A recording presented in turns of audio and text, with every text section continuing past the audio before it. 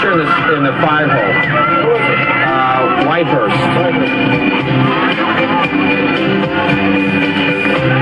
Yeah, he's going to lead off. He's out of the game. Carter's going to lead off. Gary Carter and Keith Hernandez were saying goodbye.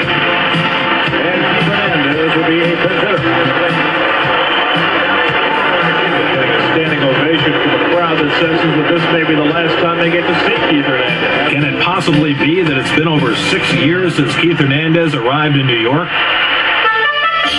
In June of 1983, the media and fans alike trumpeted the arrival of Keith Hernandez as the heart of the Mets' plan for building a champion. His gold glove would solidify the defense. They also hoped his proven bat would fill a hole in the middle of the order. But after Keith stepped in, they knew they had the man who would show the young New York Mets how to win.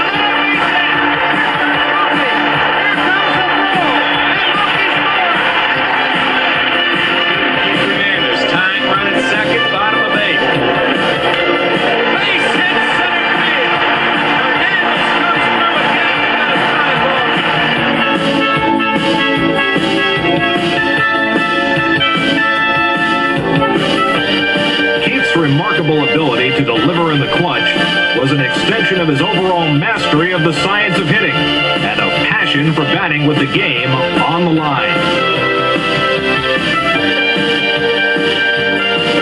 A Hernandez at bat never seemed complete until a Met base runner crossed the plate as Keith became the rarest of hitters. The bat control specialist and the big RBI man rolled into one.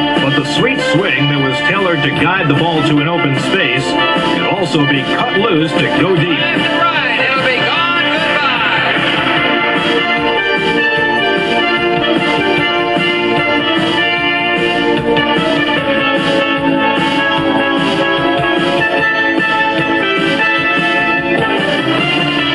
His skill with the bat was memorable, but Keith's dexterity with the glove was unforgettable. Cruz with a ground ball. It's a fair ball, and Hernandez has got it. Woo! The is time. What a play. Look at Hernandez. A golden glove first baseman makes a golden glove play. As a Met, Keith continued a string that resulted in 11 straight gold gloves, an all-time major league record for first baseman.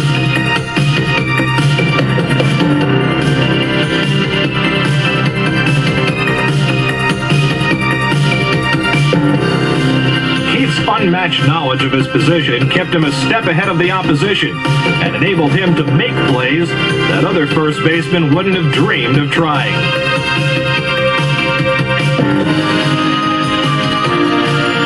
In one game, circumstances forced Gary Carter from catcher to third base, so the field general took over. Those plays, there's a runner on first and second. I don't have to hold a runner on.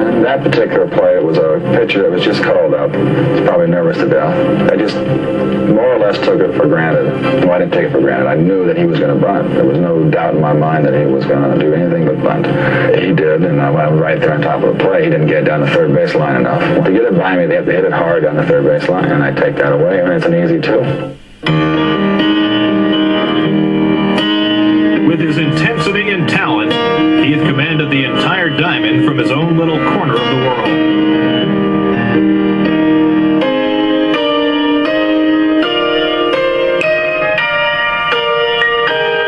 Whether by a subtle gesture of encouragement or a well-timed word of advice, Mex made his presence felt nine innings a game, 162 games a year. And in recognition of his unique value,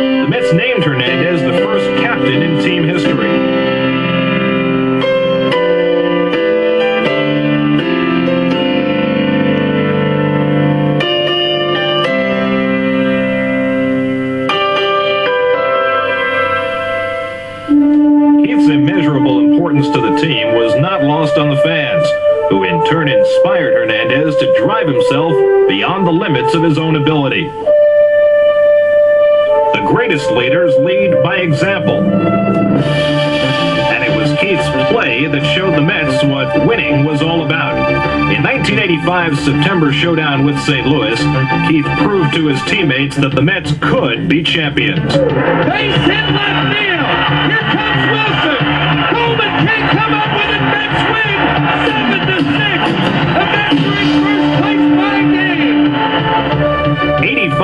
Turned out to be a dress rehearsal for 86, when in the decisive playoff game with Houston, Keith's critical hit helped lift the Mets to the World Series. And a fly ball, well hit to right center. Billy Hatcher on the run, on the run, way back. Can't get it. Base hit over his head. Wilson around third. Mookie will score.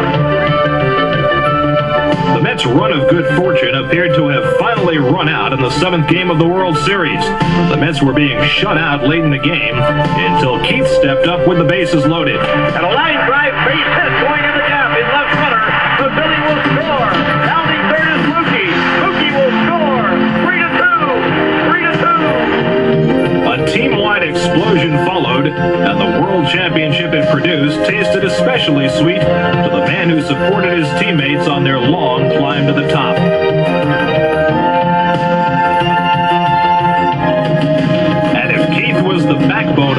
Championship, then the nerve center was Gary Carter. In Montreal, he was a seven-time All-Star performer. And the first time he teamed with Dwight Gooden, Gary Carter called the signals that struck out the side in the 1984 All-Star game. The next season, was a Met, and New York had the game's premier catcher. From behind home plate, he orchestrated the New York Mets' rise to the top.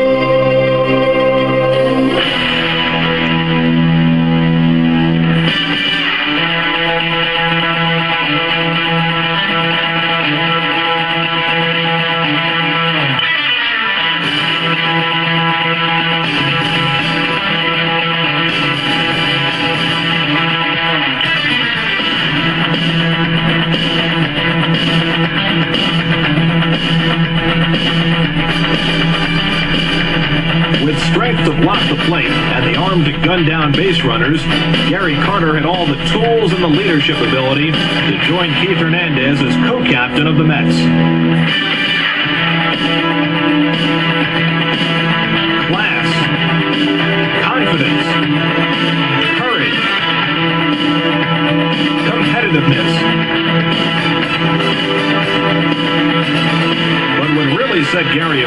Other catchers in baseball was what happened when he got out from behind the plate and stepped up to it.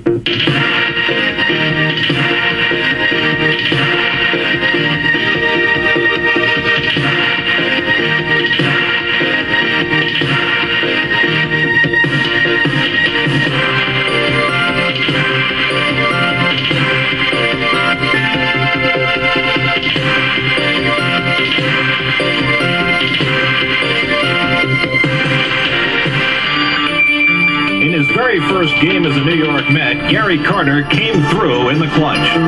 In the 1985 home opener against the St. Louis Cardinals, Carter immediately endeared himself to the New York fans with a game-winning home run in extra innings.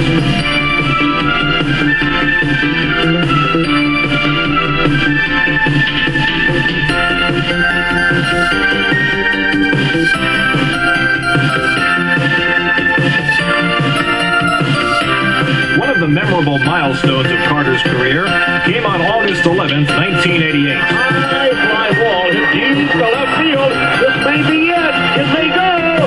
Home run! 300 for Gary Carter. Only three catchers in baseball history have hit more home runs than Gary Carter.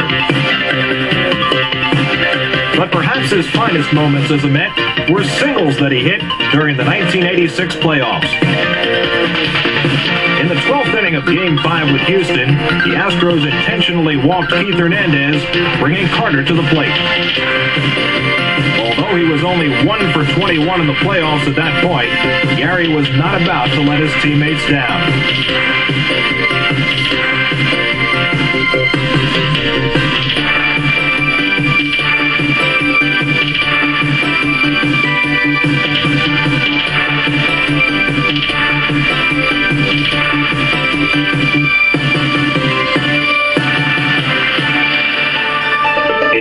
Six of the World Series, the Mets were in a similar situation. Boston should have known better than to pitch to Gary Carter.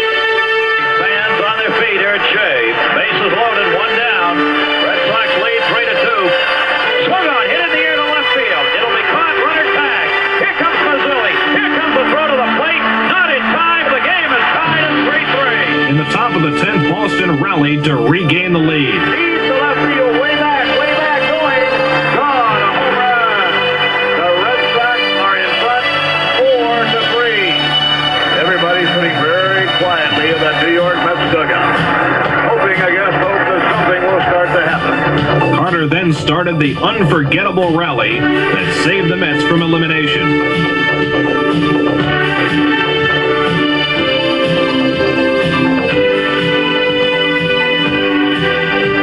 The Mets were world champions, and Gary Carter had the honor he had always dreamed of, and a ring that went with it. I've saved this uh, right ring finger for that World Series ring.